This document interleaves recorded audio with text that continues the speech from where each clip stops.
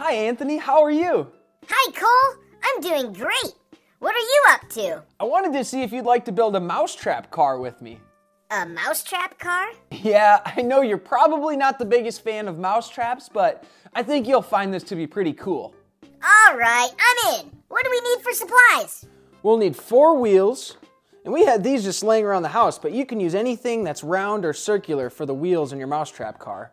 Okay, We'll use this cardboard as a platform or the body of our car, got it. and then two straws, two sticks, and clips, and those will be the axle for our car, which helps hold the wheels on and allows them to spin. Axle. Huh, I learned a new word today. We'll use this ruler as a lever, which will help move our car. Then we'll need tape and string, Tape and string. and of course, our mouse trap. Keep that thing away from me. See what I mean? Don't worry, we'll be careful not to snap the trap on our fingers, paws, or tails. That's a good plan. How in the world are we gonna put all these pieces together to make a car? Well, let's get to it. It's often easier to learn something by watching someone else do it first. Okay, step one, we're going to take the platform of our vehicle and we're going to cut out a little chunk at the back of it. Right in the middle.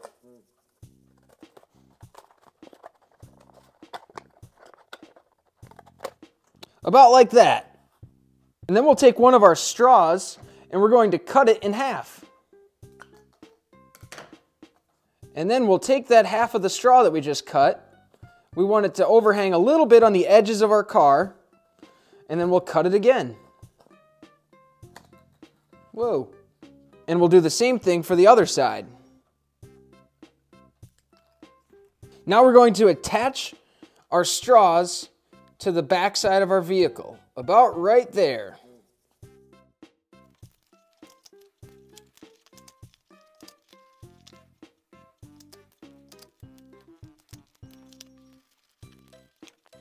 Perfect. Now with those attached, we'll do the same thing on the front side, but this time we don't have to cut the straw in half. And now we'll tape this straw to the front of the car.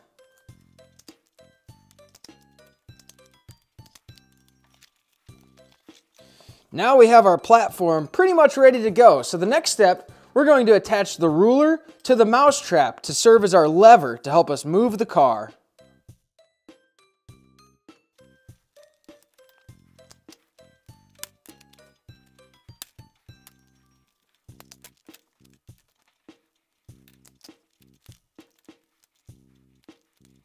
Okay, now that we have the ruler attached to the mousetrap, we can attach the mousetrap to our car.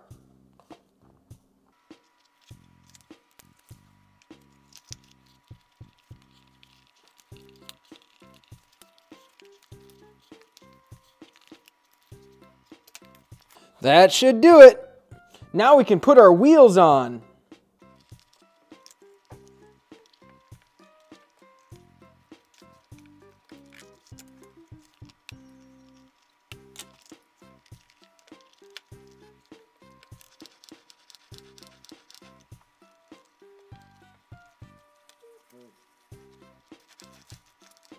Our wheels are kind of rubbing, so I'm going to cut out a little bit of space for them.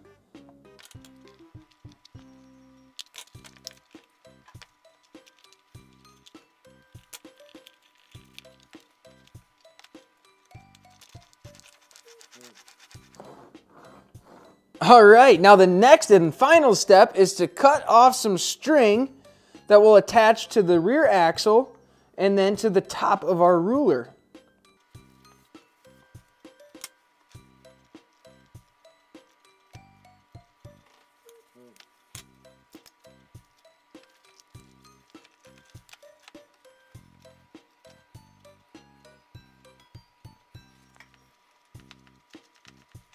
All right, there you have it, Anthony. Our mousetrap car is finished. Should we test it out? Yep. Okay, to get our mousetrap car ready, what we need to do is wind up the string on the back uh, axle here. We're going to wind it up as tight as we can go.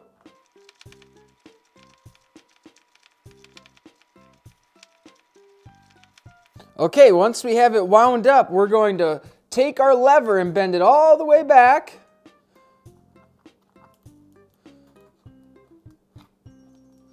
And then keep winding it up.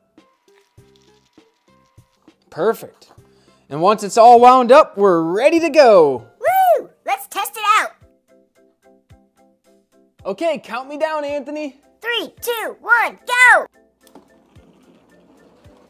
Whoa! It works!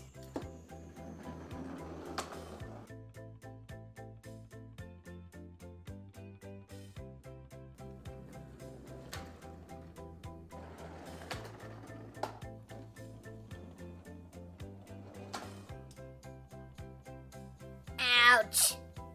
So as the force of the mouse trap moves the ruler, that pulls on the string, which is wrapped around the axle, and that makes the car go. Right? That's right, Anthony. That's exactly how the mousetrap car works. Well, isn't that just fun and interesting? And the best part, too, is you can tinker around with different parts on the car to make it go further or go faster or really anything you want. That's the beauty of tinkering and having a little bit of imagination.